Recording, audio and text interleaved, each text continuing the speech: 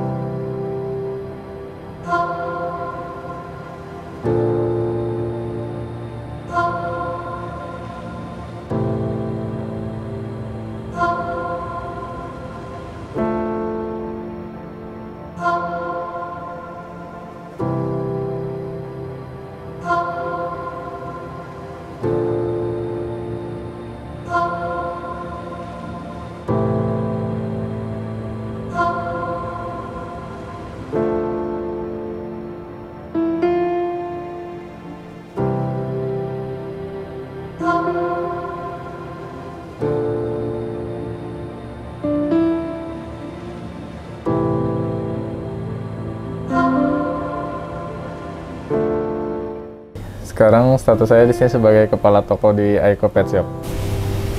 Untuk kegiatan sehari-hari di sini paling pas datang pagi tuh ngeluarin kandang, keluar, kita nyapu ngepel, masuk ke program, sisanya paling beres-beres toko aja sama ngelayanin customer. Terus nge-stok barang yang udah habis di display. Saya udah bekerja selama 2 tahun di sini. Kita mempunyai satu produk unggulan yaitu Pure Lux. Buat bos di sini sih orangnya baik kayak baik dia royal ramah asik sama karyawan. Bos saya sih perhatian ya. Kadang tuh kita udah jam siang atau ke sore dia suka nanya udah makan atau belum? Kadang dia masak sendiri buat kita buat karyawannya. Ya maklum lah ya mungkin karena duda jadi bisa masak. Bukan omset sih yang ditanya sama dia tapi lebih tepatnya udah makan atau belum. Anak kesayangan kalau saya libur dia galau om. Di sini saya punya satu anak ya, bisa dilihat anaknya, anjing. Dia udah menemani saya di sini setahun. Namanya Elif. Dulu sih saya sempat mau berhenti ya mau keluar dari kerjaan ini karena ada suatu problem sama something lah seseorang di sini. Cuma akhirnya nggak jadi keluar sampai sekarang.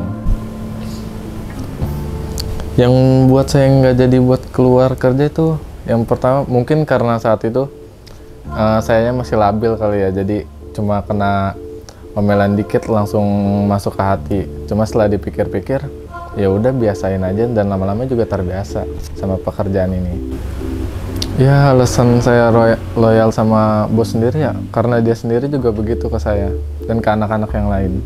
Jadi kita harus ngebalasnya juga kayak gitu.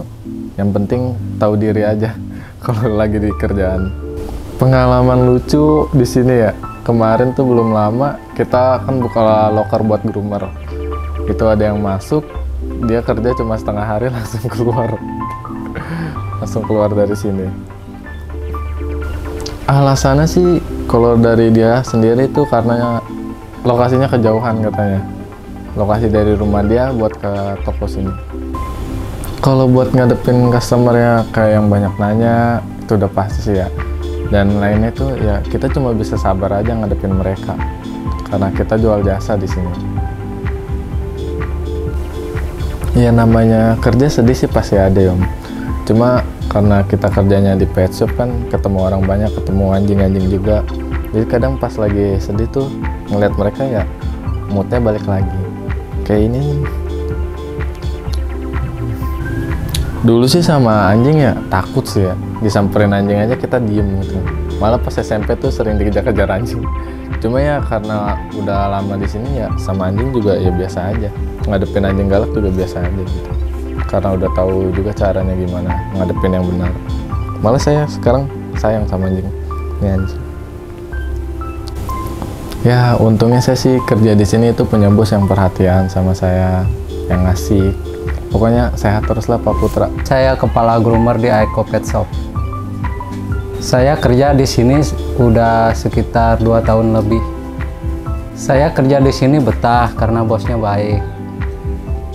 Biasanya kalau kita ada anjing galak, cara menangininya tuh harus sabar. Nggak, nggak bisa gerabak-gerabak gitu. Kerja di sini sih seneng om. Saya kerja di sini senang karena bosnya juga baik sama saya. Teman kerjanya juga pada baik. Terus lingkungan kerjanya juga nyaman lah. Saya bisa cutting tuh tiga bulan baru bisa cutting. Pertama sih belajar ngebotakin dulu, habis itu baru ngerapiin muka, rapihin kaki sama bagian ekor. Kalau udah bisa cukur botak, baru cukur yang satu senti. Habis itu model-model kayak model bu, model singa, itu gitu doang sih. Kalau masalah pernah nggak digigit anjing sih, udah pasti pernah. Kalau kerjanya mandiin anjing. Kenapa saya betah kerja di sini selain kebutuhan karena Om Putranya juga baik sama saya. Terus teman-temannya juga baik juga. Jangan lupa datang ke Aiko Pet Shop kalau mau grooming ntar saya kerjain.